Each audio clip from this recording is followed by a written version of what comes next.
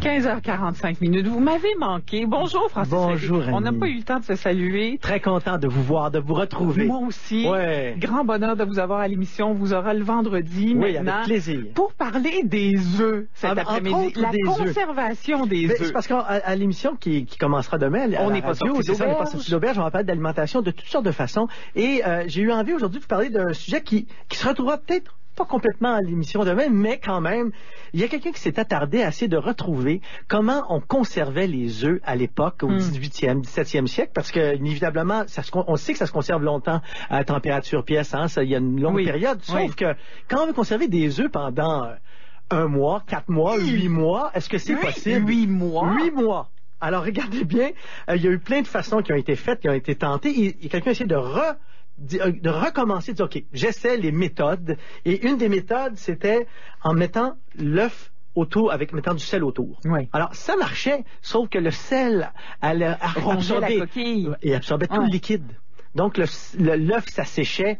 Mauvaise idée. Mauvaise ça- idée. la saumure non plus, parce qu'on dit on va mettre de l'eau avec le sel, on va voir si ça marche. Ça marche pas vraiment bien non plus. Ensuite, ils ont essayé avec une méthode qui existait à l'époque, avec de l'avoine. On mettait, on mettait le- le- l'œuf dans l'avoine, Ah oui. sauf que ça changeait le goût de l'œuf et après huit mois, 70% des œufs plus bons. Hmm. Terminé. Alors, Ben, mois, mais- c'est mais, vous- pas non, mal mais de c'est- temps. mais le but de l'exercice, quand on n'a pas de frigo, c'est que ça se conserve longtemps. Et quand aujourd'hui on pense à ce qu'on peut faire pour essayer de faire le moins possible d'utilisation de, euh, dans les frigos, dans les- ce que ça coûte, ce que ça Mhm. provoque comme euh, dépense, ben, il essaie de trouver des façons. Alors, l'autre technique qui a été développée à l'époque, c'est de mettre une espèce de vernis autour de l'œuf. Alors, c'est qu'on peignait l'œuf, sauf que le peignant, ça devenait collant. Là, ils ont commencé à mettre du papier autour. Là, très, très quand même, le résultat pas mal du tout. On se retrouvait avec 60% de succès pour huit mois. De la même façon avec le beurre ou un gras animal. On mettait ça un succès pendant huit, Ah, mois. Le problème, c'est que le beurre, s'il devient rance, ben, Ouais. là, ça pouvait altérer le goût. Mhm. Deuxième, euh, la deuxième position, 80% de succès, c'était avec des copeaux de bois. On entoure l'œuf du copeau de bois et ça, ça peut durer pendant huit mois, 80% de succès.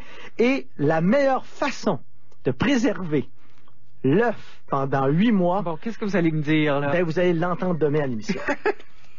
voilà. C'est comme ça qu'on arrête ça? Non, non, parce que je veux parler aussi, non, parce que demain aussi à l'émission, on va parler de, de, le vinaigre.